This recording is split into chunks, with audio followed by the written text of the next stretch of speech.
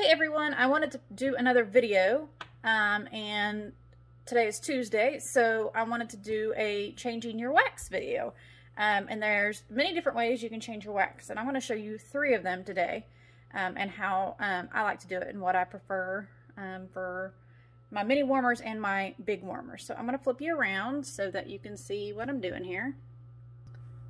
So I've got set up three of my warmers. Um, so this is the little garden warmer, the aloe vera warmer, and the mini Why Are You Blushing warmer.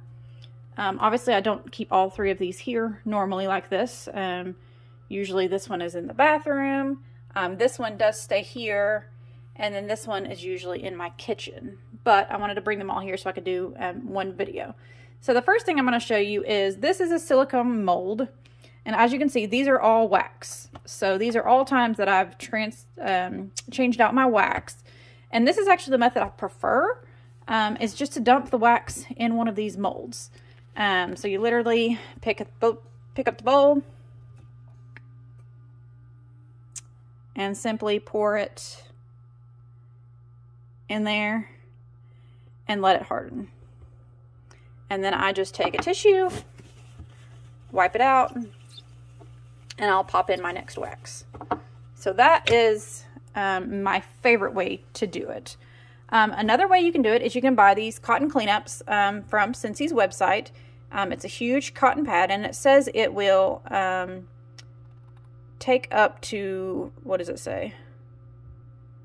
Four, um, four wax cubes at a time. Yeah, up to four wax cubes at a time. I only have one in this warmer because that's all I use for any of my warmers is just one cube.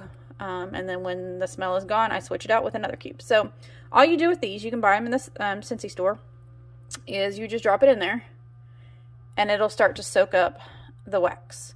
Um, so that is super simple, simple way um, to get your wax cleaned up. Or if you don't want to buy those, you can just use simple cotton balls. And this is actually what I use for my mini warmers. Um, because if I tried to pull this thing out of the wall, I would for sure get wax everywhere. So um, instead of trying to get wax, pull that out and get wax everywhere, I'm just going to drop these in and it will soak up all of that wax. And then I can simply pick them up. See, look, I mean, it was in there, what, three seconds? It soaked up all the wax. And then I simply take a tissue, wipe it out, and now it's ready to go for my next. Look at my cotton cleanup. It's soaked up all that wax. See how it's blue? It soaked up all that wax and now it is ready to go um, for our next cube. So that is simply three ways you can do it. Um, like I said, I prefer this way um, because I don't have to waste tissues. I don't have to waste cotton balls. I pour them in there. I let them harden. And then um, my daughter, Emmy, she likes to play with these. So she will pop them out. She's actually the one that kind of color coordinated um, them.